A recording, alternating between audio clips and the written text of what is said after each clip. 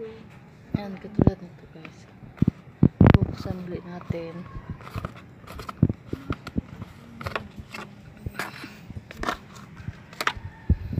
Tapos, ilalagay ko dyan. Sa loob na yan, ayan ang nag ayan ang nag, ano, napataba namin. Tapos, tatakpan para hindi ah, anihin ng mga insekto. Pasukan ng mga insekto, mga langaw, ano. Tapos, kapag nilagay na namin yung mga galing sa kusina, tatakpan na namin. Tapos, pag nag pag nag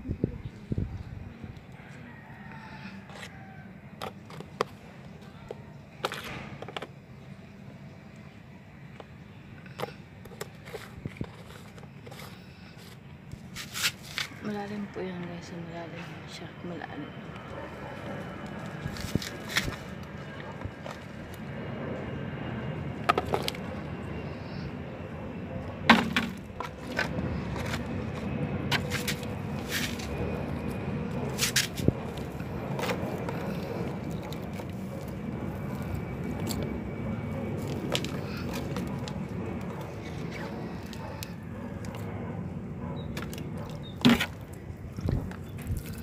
Lucas bigas naman na rin dyan para pampataba.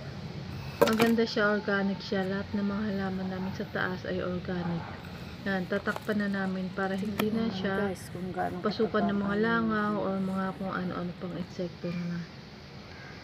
Yan, ayun ang mga halaman namin, guys. Yan ang tumawid sa amin nung panahon ng pandemic. Diyan kami kumukuha ng mga gulay. Ano, grapes. At guys, may, may strawberry pala kaming tanim. Ito nga pala, strawberry guys. Yun ang strawberry namin guys.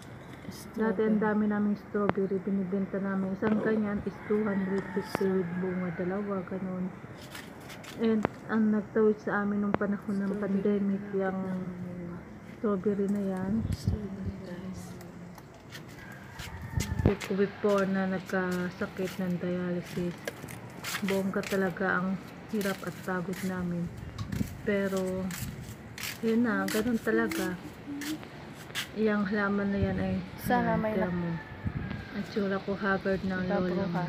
Bye. O, Sana mo. may natutunan kayo sa Diba? video kong ito. Salamat sa panonood. Salamat. Sana makapulot kayo ng konting pamaraan para sa pagkahalaman namin. Pagkaalaman namin ng ate ko.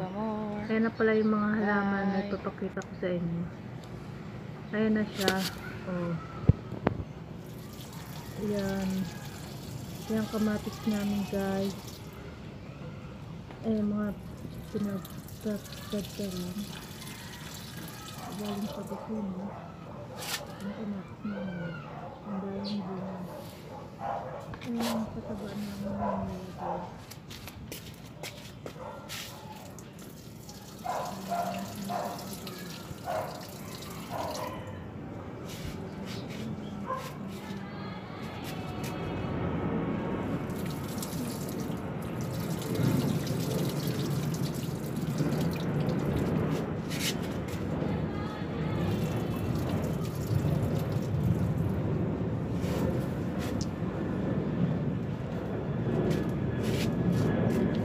Madalas na ito is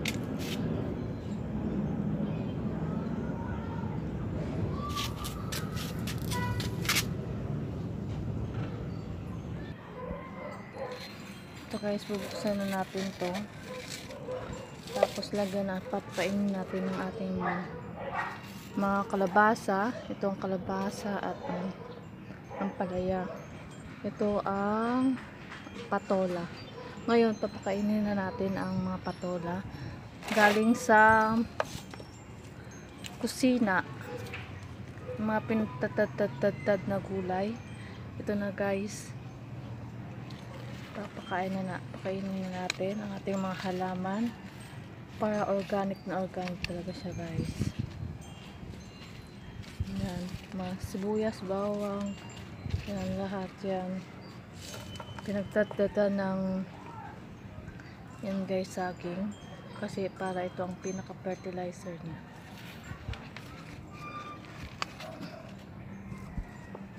Siksik-siksikin.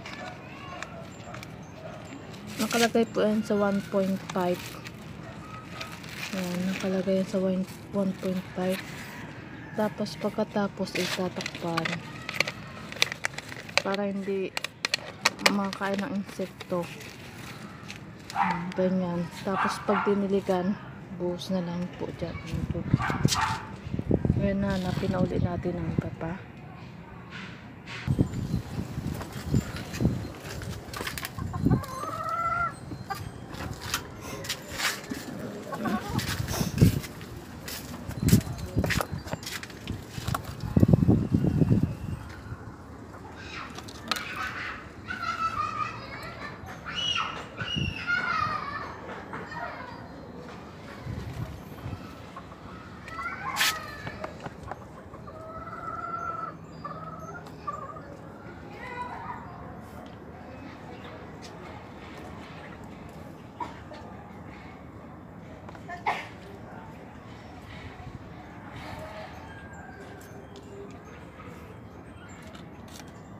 Para takpan para hindi ito po ang insekto guys.